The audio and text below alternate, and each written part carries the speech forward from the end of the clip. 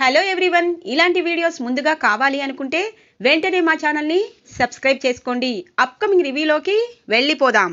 Episode start అవ్వంగానే విక్రమాదిత్య పద్మావతి అను ఆర్యలతో సీతారాముల కళ్యాణం జరిపించడానికి నాయనమ్మ అన్ని ఏర్పాట్లని చేస్తుంది. ఇటువైపు ఇంటి నుండి వెళ్ళిపోయిన అరవింద విక్కీని గుర్తు చేసుకొని బాధపడుతూ ఉంటుంది. ఎందుకు విక్కీ? ఎందుకు నన్ను అమ్మలా చూసుకునే నువ్వు? మీ బావని కొట్టే స్థాయికి ఎందుకు వెళ్ళావు? ఈ అక్క మనసుని ఎందుకు బాధ పెట్టావు? ఈ సంవత్సరం సీతారాముల కళ్యాణం మీ జంటలతో చేయించాలని అనుకున్నాను. కానీ మీకు దూరంగా ఉన్నాను. నువ్వే పదే పదే గుర్తుకొస్తున్నావు. అని విక్కీని గుర్తు చేసుకుంటూ బాధపడుతూ ఉంటుంది అరవింద. అను ఆర్య అలాగే విక్రమాదిత్య పద్మావతి పట్టుబట్టలు కట్టుకొని చక్కగా రెడీ అయ్యి ఇక సీతారాముల కళ్యాణం చేయడానికి కిందికి వస్తూ ఉంటారు. ఇక నాలుగు జంటల్ని చూసి అందరూ చాలా సంతోషపడతారు. ఇక పంతులు గారు చెప్తారు అమ్మ కళ్యాణం జరిపించడానికి అన్నీ సిద్ధంగా ఉన్నాయి. మీ జంటలు వచ్చి పీట్లపై కూర్చోండి అని చెప్పడంతో ఇక అను ఆర్య ఇటువైపు విక్రమాదిత్య పద్మావతి పీటలపై కూర్చుంటారు. పంతులు గారు కళ్యాణం జరిపిస్తూ ఉంటారు. పద్మావతికి మాత్రం మా పెళ్ళి అనుకోకుండా జరుగుండాది. ఈ కళ్యాణంలాగా నా పెళ్ళి జరిగితే ఎంత బావుండు అని మనసులో అనుకుంటూ ఉంటుంది పద్మావతి. పంతులు గారు సీతారాముల కళ్యాణాన్ని అంగరంగ వైభవంగా జరిపిస్తూ ఉంటారు ఇద్దరి జంటలతో. ఇక సీతారాములు వాళ్ళ కళ్యాణం అసలు వాళ్ళ పెళ్ళి రాముడు ఎలా తన భార్యను చూసుకుంది. అలాగే ఇక రాజ్యాన్ని పరిపాలిస్తూనే తన కష్టాలు నష్టాలతో ఎలా జయించారు అని సీతారాముల కళ్యాణం చెప్తూ ఉంటారు పంతులు గారు. ఇక అందరూ చాలా శ్రద్ధగా ఆ కథని వింటూ రాముల వారి కళ్యాణం చూస్తూ చాలా సంతోషపడుతూ ఉంటారు ఫ్యామిలీ అంతా. ఇంతలో కొంతమంది మీడియా బయట నించుంటారు. ఇక ఏంటి మీడియా వచ్చారు మన ఇంటి ముందుకి అని చెప్పి ఇక కుచల ఏం కావాలి? మా ఇంట్లో ఏం జరుగుతుంది? ఇక్కడ సీతారాముల కళ్యాణం జరిపిస్తున్నారు అనగానే అమ్మా మీ ఇంట్లో సీతారాముల కళ్యాణం జరిపిస్తున్నారు. అందుకే మేము షూట్ చేయడానికి వచ్చాము. ఎందుకంటే చాలా బాగా మీ ఇంట్లో జరుగుతుంది. ఇది మేము న్యూస్లో వేసుకోవాలి అని అంటారు. రండి రండి అని చెప్పి కుచిలా న్యూస్ వాళ్ళందరికీ లోపలికి పిలుస్తుంది. ఇక పద్మావతి విక్కీ అందరినీ ఇక వాళ్ళు షూట్ చేస్తూ ఉంటారు. ఇక సీతారాముల కళ్యాణం ఇటువైపు విక్కీ పద్మావతి అటువైపు అను ఆర్యలతో దండలు వేయించడం తలంబ్రాలు పోయించడం తాలిబొట్టు కట్టించడం ఇలా పంతులు గారు అన్నీ వీళ్ళిద్దరి చేతుల మీదే చేస్తూ ఉంటారు. ఇక మీడియా వాళ్ళు షూట్ చేస్తూ ఉంటారు వాళ్ళిద్దరినీ. ఇది ఇలా ఉండగా అరవింద బాధపడుతూ ఉంటే మురళి వస్తారు. ఏంటి అరవింద? ఏంటి బాధపడుతున్నావు? నువ్వు ఇక్కడికి వచ్చావే కానీ నీ మనసంతా అక్కడే ఉంది. నన్ను కొడితే బామ్మర్ది కొట్టాడు. పద వెళ్దాం అని చెప్పి అంటారు మురళి. రానమ్మా నిన్ను ఇలా చూస్తూ ఉంటే నా మనసు అస్సలు బాగోలేదు. నువ్వు ఇలా బాధపడుతూ ఇక సంతోషంగా లేకపోతే మనకి పుట్టబోయే బిడ్డ ఎలా? చెప్పు. అందుకే అక్కడికి వెళ్ళిపోదాము. నాకెన్ని అవమానాలు జరిగినా పర్వాలేదు. ఇంకెప్పుడు వాళ్ళ ఇల్లు వదిలి రావద్దు అని అంటారు మురళి. వద్దండి మీకు అవమానం జరిగితే నాకు అవమానం జరిగినట్టే. నేను బాధపడను. సరేరానమ్మా నువ్వు సంతోషంగా ఉండాలి. ఈరోజు శ్రీరామనవమ పండుగ. అందుకే గుడిలో అన్నిటిలో కళ్యాణం చూపిస్తున్నారు. మనసు ప్రశాంతంగా ఉంటే కళ్యాణం చూడొచ్చు. టీవీ ఆన్ చేస్తాను అని చెప్పి టీవీ ఆన్ చేస్తారు మురళి. టీవీలో కళ్యాణం వస్తూ ఉంటుంది. చాలా హ్యాపీగా ఫీల్ అవుతూ ఉంటుంది. ఇప్పుడు అసలైన కథ మొదలవుతుంది. అని లోకల్ టీవీ ఆన్ చేస్తారు మురళి. ఇక లోకల్ టీవీలో పద్మావతి విక్రమాదిత్య అను ఆర్యల ఇల్లు చూపిస్తూ ఉంటారు. ఇది మన ఇల్లే కదరానమ్మా అని అంటారు. అవునండి మా ఇల్లే. నాకు చాలా సంతోషంగా ఉంది అని అంటుంది. మన ఇంట్లో మీడియా వాళ్ళేంటి? అంటే శ్రీరామనవమి వేడుకలు అంగరంగ వైభవంగా జరిపిస్తున్నారు అని అంటారు. అవును నాయనమ్మకి చాలా ఇష్టం. పోనీలే మా ఇంట్లో శ్రీరామనవమి పండుగ ఇటువైపు విక్కీ పద్మావతి అను ఆర్యలతో జరిపిస్తున్నారు. కళ్ళారా చూస్తాను వాళ్ళని అని చెప్పి ఇక చూస్తూ ఉంటుంది అరవింద నువ్వు చూడడమే కావాలి అని ఇక అనుకుంటూ ఉంటారు మురళి. ఇది ఇలా ఉండగా సీతారాముల కళ్యాణం పూర్తయిపోతుంది. ఇక పంతులు గారు వెళ్ళాలని వెళ్ళబోతూ ఉంటే ఆగండి పంతులు గారు. భార్య భర్త ఒకరి మనసులో ఉన్న మాట ఒకరికి తెలుస్తుంది అంటారు. అందుకే ఈ సీతారాముల కళ్యాణం జరిగిన వెంటనే మా పెళ్ళి కూడా మరోసారి జరగాలని కోరుకుంటున్నాను. నా మనసులో వచ్చిన ఆలోచన నా భార్య పద్మావతికి కూడా అదే కోరికుందని నాకు కనిపిస్తుంది అనగానే ఒక్కసారిగా షాక్ అయిపోతుంది పద్మావతి. సారు అనగానే అవును పద్మావతి నీ మనసులో ఉన్న కోరిక ఈ భర్త విక్రమాదిత్య తీరుస్తారు అనగానే అమ్మా ఎంతటి మంచి ఆలోచన. సీతారాముల కళ్యాణం జరిగాక మీ కళ్యాణం జరిపించుకోవాలనుకుంటున్నారు. సరేనమ్మా అన్ని ఏర్పాట్లని మరోసారి చెయ్యండి అని అంటారు. పంతులు గారు రాములు వారి పాదాల చెంత ఉన్న ఆ అక్కింతలే మాకు తలంబ్రాలు ఆ దండలే మాకు కూడా దండలు అని చెప్పి అంటూ ఉంటుంది. ఇక అన్ని ఏర్పాట్లన్నీ చేస్తారు విక్రమాదిత్య పద్మావతి మరోసారి పెళ్ళి కోసం. అను ఆర్యలు బాసికలు కట్ కడుతూ పట్టుబట్టలు కట్టుకొని ఇద్దరు పెళ్ళి కూతురు పెళ్ళి కొడుకులా ముస్తాబవుతారు. ఇక పంతులు గారు మరోసారి విక్రమాదిత్య పద్మావతికి పెళ్ళి చేస్తూ ఉంటారు.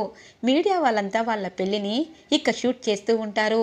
ఇటువైపు టీవీ చూస్తున్న అరవింద్కి చాలా సంతోషం అనిపిస్తుంది. నా తమ్ముడు ఎక్కడో పెళ్ళి చేసుకున్నాడన్న బాధ ఈ రోజుతో పోయింది. పోనీలే నా కల్లారా చూసుకున్నాను అని చెప్పి ఆనందంగా టీవీ చూస్తూ ఉంటుంది అరవింద. ఇక పెళ్ళిని ముగిస్తారు పంతులు గారు. అమ్మా మీరు ఎప్పుడూ సుఖ సంతోషంగా ఉండాలి. ఈ ఫ్యామిలీలో మా గుడికి ఎంతో దాతలుగా ఉండి గుడిని ఒక దాతగా తీసుకొచ్చారు. అలాంటి మీ ఇంట్లో కళ్యాణం జరిపించుకున్నారు. ఇక వస్తాను అని చెప్పి పంతులు గారు వెళ్ళిపోతారు. మీడియా వాళ్ళు కూడా నిజంగా ఈరోజు మాకు కూడా చాలా ఆశ్చర్యంగా అనిపించింది. రాములు వారి కళ్యాణం ఇంట్లో చాలా బాగా చేశారు. ఇప్పుడేమో మీ పెళ్ళి కూడా మీ షూట్ చేశాము అని చెప్పి మీడియా వాళ్ళు వెళ్ళిపోతారు. పద్మావతికి చాలా హ్యాపీగా అనిపిస్తుంది. నిజంగా ఇప్పుడు వదినుంటే ఎంత బాగుండేదో. వదిన్ని ఎలాగైనా తీసుకురావాలి అని అనుకుంటుంది మనసులో పద్మావతి. ఇది ఇలా ఉండగా ఇక టీవీలో వాళ్ళ కళ్యాణం చూసిన అరవిందకి చాలా హ్యాపీగా అనిపిస్తుంది. రానమ్మా సంతోషమే కదా. కానీ ఒకటే బాధ రానమ్మా. నువ్వు వెళ్ళిపోయావన్న బాధ బామ్మర్దికి పద్మావతికి ఇంట్లో వాళ్ళెవరికీ లేనట్టు అనిపిస్తుంది. ఎందుకంటే నేను ఇన్ని సంవత్సరాలు ఇల్లరికంలో ఉన్నాను. వాళ్ళకి నా పీడ ఎప్పుడు ఇరగడవుతుందా అని అనుకున్నారో ఏమో సంతోషంగా పండగని జరిపించుకున్నారు. ఇంటి ఆడపిల్ల లేదన్నా బాధ కూడా లేదు అని అంటారు. ఒక్కసారిగా అరవింద షాక్ అయిపోతుంది. ఏంటండి? మీరేనా ఈ మాటలు మాట్లాడుతున్నది? అని అంటుంది అరవింద. అవును రానమ్మా నేనే మాట్లాడుతున్నాను. ఈ మాటలకి నువ్వు బాధపడుతున్నావా? అని అంటారు. లేదు లేదు. ఇంట్లో అందరూ సంతోషంగా ఉన్నారు. నేను లేనన్నా బాధ మాత్రం వాళ్ళు కనిపించటం లేదు అని అంటుంది. అదే నేను కూడా అన్నాను. ఒకటి మాత్రం నిజం. నీకు వాళ్ళందరి మీద చాలా ప్రేమ ఉంది రానమ్మా. కానీ నేనెంతైనా ఇల్లరికం అల్లుణ్ణి కదా. నిన్ను నన్ను వాళ్ళు పోషించారు. కానీ ఇప్పుడు నేను వాళ్ళకి లోకు అయిపోయాను. అందుకే విక్కీ నన్ను కొట్టగలిగాడు. అందుకే రానమ్మా నేను కూడా సంపాదించాలనుకుంటున్నాను. నాకు పుట్టపోయే బిడ్డకి నీకు మహారాణిలాగా చూడాలనుకుంటున్నాను. అందుకే ఇక నేను ఇల్లరికం అల్లుడుగా ఉండకూడదని అనుకుంటున్నాను. ఎందుకంటే ఈరోజు మంచే జరిగింది. నువ్వు నాతో పాటు వచ్చేసావు నా భార్య వస్తే నాకు సిరి సంపదలు ఉన్నట్టే అనగానే ఇక అరవింద బాధపడుతూ పాపం ఆయనకి మనసు విరిగిపోయింది. విక్కీ అలా చేశాడు. ఇప్పుడు అందరూ హ్యాపీగా ఉన్నారు. వాళ్ళు హ్యాపీగా ఉండడం మంచిదే. కానీ విక్కీ నా భర్తపై చేయి చేసుకున్నాడు అని చెప్పి మనసులో బాధపడుతూ ఉంటుంది. ఇప్పుడు ఇప్పుడై ఇప్పుడు అసలైన పండుగ మొదలవుతుంది. రానమ్మా అటు మీడియా వాళ్ళకి పంపించి నువ్వు చూసేటట్టు చేశాను. ఇక వాళ్ళంటే నీకు విరక్తి కలిగేలా చేస్తాను. వాళ్ళు నా గురించి నిజం చెప్పినా నువ్వు నమ్మకుండా ఉండేటట్టు చేస్తాను. అదే ఈ మురళికి కావలసింది అని చెప్పి అనుకుంటారు మురళి. ఇది ఇలా ఉండగా నైట్ అవుతుంది. పద్మావతి విక్రమాదిత్య తమ రూంలోకి వస్తారు. పద్మావతి తనలో తను చూసుకుంటూ ఉంటుంది. అద్దంలో పద్మావతి నువ్వు చాలా అందంగా ఉంటావు అనగానే సరు ఈరోజు కొత్తగా మాట్లాడుతున్నారేంటి? అనగానే ఈరోజు మన పెళ్ళైంది కదా పద్మావతి. మరి ఈరోజు మొదటి రాత్రి కూడా ఉంటుందనుకుంటా? అనగానే సారు మన పెళ్ళయ్యి ఒక సంవత్సరం అయ్యింది. ఈరోజు మన పెళ్ళి రెండోసారి మాత్రమే అయ్యింది అనగానే రెండోసారి పెళ్ళైనా మొదటి రాత్రి జరగలేదు కదా పద్మావతి అని అంటారు. అమ్మో సారు ఈరోజు మిమ్మల్ని చూస్తుంటే నాకు భయంగా అనిపిస్తుంది అనగానే అవునా?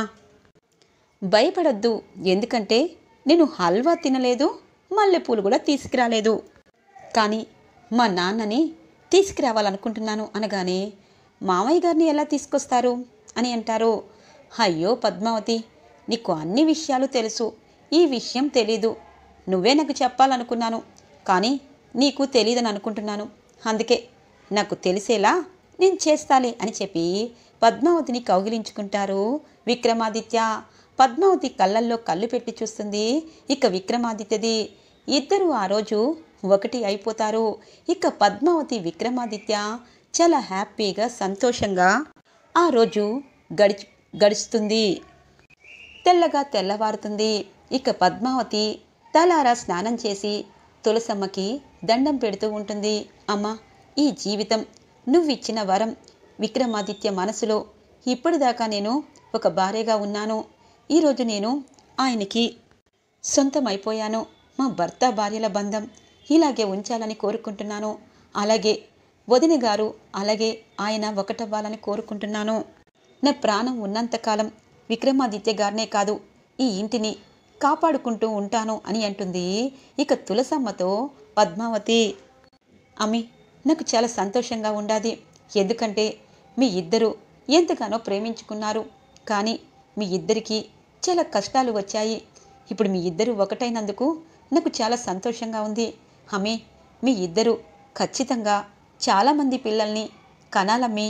నాకు దత్తత కూడా ఇవ్వాలి అని అంటుంది అను అక్క నీకేం తక్కువ? నీకు గంపెడి పిల్లలు పుడతారక్క అని అంటుంది. అమ్మి నీకు తెలీదు. నాకు పిల్లలు పుట్టే యోగ్యమే లేదు. మా అత్తయ్యకి ఆ విషయం తెలిస్తే ఖచ్చితంగా ఆయనకి పెళ్ళి చేస్తుంది. కానీ ఇప్పుడు విక్రమాదిత్య పద్మావతి గారి పిల్లలంటే ఏమీ అనదు. నా చెల్లెలి పిల్లల్ని నేను పెంచుకోవచ్చు అని మనసులో అనుకుంటూ అమ్మి ఒక్కొక్కసారి ఎంతటి మంచివారైనా దేవుడు వాళ్ళకి పరీక్షలు పెడుతూ ఉంటారు. అటువంటప్పుడు దేవుడి మీద భారం వేయకుండా మనం ఏం చేయాలో అది చేయాలి అని అంటుంది అను అక్క. ఆ దేవుడు ఎవరికి అన్యాయం చేయడు.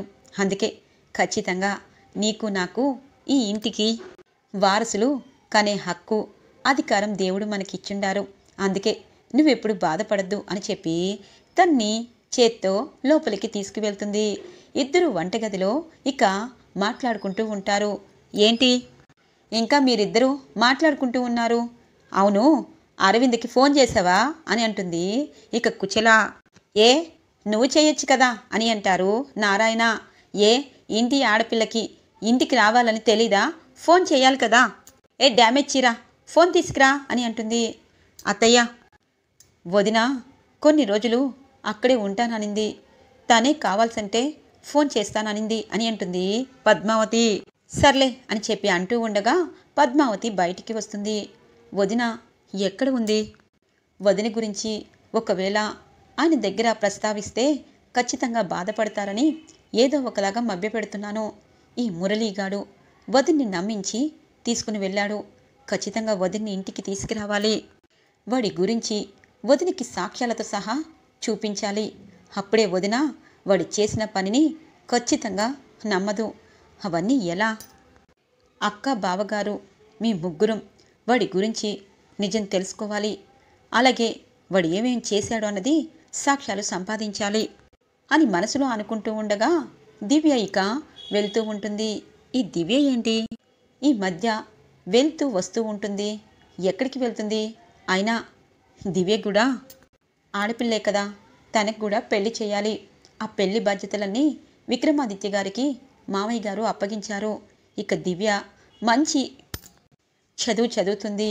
ఆ చదువు పూర్తవుతుంది. ఇక అప్పుడు తనకి పెళ్ళి చేయాలి.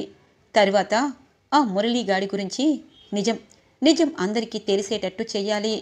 వదిన ప్రెగ్నెంట్ కాబట్టి తన బాబు పాపో అత్తయ్యో మామయ్యో ఎవరైనా బయటికి వచ్చేసరికి కష్టాలన్నీ పోవాలి అని అనుకుంటుంది.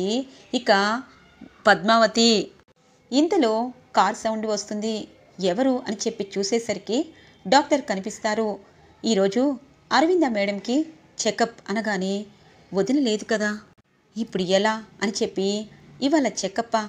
మరి వదినికి ఫోన్ చేసిండారా అని అంటుంది. ఆ ఫోన్ చేశాము. అలాగే తను ఎక్కడుంది అన్నది గూగుల్ మ్యాప్ పెట్టారు. ఎప్పుడు వచ్చి చెకప్ చేసే ఇల్లే కాబట్టి మీ ఇంటికి వచ్చాను అనగానే తను గూగుల్ మ్యాప్ పెట్టారా? అలా అయితే తను వేరే ప్లేస్లో ఉంది. నేను కూడా వస్తాను. పదండి అని అంటుంది పద్మావతి. సరే అని చెప్పి ఇక పద్మావతి వదిన ఉన్న ప్లేసు తెలుసుకోవాలి అని చెప్పి ఇక ఇద్దరు డాక్టర్తో సహా బయలుదేరుతుంది పద్మావతి. పద్మావతి డాక్టర్ ఇక అరవింద ఉన్న ప్లేస్కి వస్తుంది. ఊరి చివర వదిన్ని పెట్టాడా? మూర్ఖుడు. వదిన కడుపుతో ఉందన్న జాలి కూడా వాడికి లేదు. వదిన్ని ఎలాగైనా బ్రతిమలాడాలి అని మనసులో అనుకుంటూ ఇక అక్కడున్న హోటల్లో బెల్ కొడుతూ ఉంటారు. ఇక బెల్ ఓపెన్ చేయంగానే అరవింద అలాగే మురళి కనిపిస్తారు. పద్మావతిని చూడగానే ఒక్కసారిగా షాక్ అయిపోతుంది. ఇటువైపు అరవింద అటువైపు మురళి వదిన డాక్టర్ చెకప్కి వచ్చారు. అందుకే వచ్చాను అని అంటుంది పద్మావతి. నేను ఇక్కడున్నానని ఎలాగూ తెలుసుకున్నావు. కానీ నేను ఇంటికి రాను. మీరు వెళ్ళొచ్చు అనగానే వదిన అలా అంటారేంటి? మన ఇంటికి వెళ్దాము. చెకప్ పూర్తయ్యాక అనగానే పద్మావతి తను రాదు అనగానే చూడండి నేను వదినతో మాట్లాడుతున్నాను. ఒక్కొక్కసారి జరగనని జరుగుతాయి. దానివల్ల మీరు ఇల్లు విడిచి వస్తే ఆ ఇంట్లో లక్ష్మీదేవి నడిచి వెళ్ళిపోతున్నట్టుంది వదిన. అందుకే చెకప్ పూర్తయ్యాక మనం ఇంటికి వెళ్దాము అని అంటుంది పద్మావతి. నేను చెకప్ పూర్తయ్యాక వెళ్తాను మేడం అని అంటారు డాక్టర్. ఇక అరవింద్కి చెకప్ పూర్తయ్యి వచ్చే నెలలో రెండో తేదీన మీకు డెలివరీ అవుతుంది. ఈలోపు అన్నీ మీరు సిద్ధం చేసుకోండి అని చెప్పి డాక్టర్ వెళ్తారు. పద్మావతి నేను రాను అనగానే వదిన నా మీద ఒట్టు. మీరు ఇంటికి రాకపోతే నేను ఇక్కడే ఉంటాను. మీ తమ్ముడు చేసిన తప్పుని నేను క్షమించను అనగానే ఏంటి ఈ పద్మావతి? అరవింద్ని తీసుకెళ్ళాలని డిసైడ్ అయినట్టుంది. పద్మావతి అరవింద్ని ఎక్కువగా విసిగించద్దు అనగానే ఇక పద్మావతి వాడి వైపు కోపంగా చూస్తూ ఉంటుంది. ఈరోజు ఎపిసోడ్ ఇలా ఇంట్రెస్టింగ్గా ఎండ్ అవుతుంది ఫ్రెండ్స్ రాబోయే ఎపిసోడ్స్ కోసం మా ఛానల్ని సబ్స్క్రైబ్ చేసుకోండి. Thanks for watching friends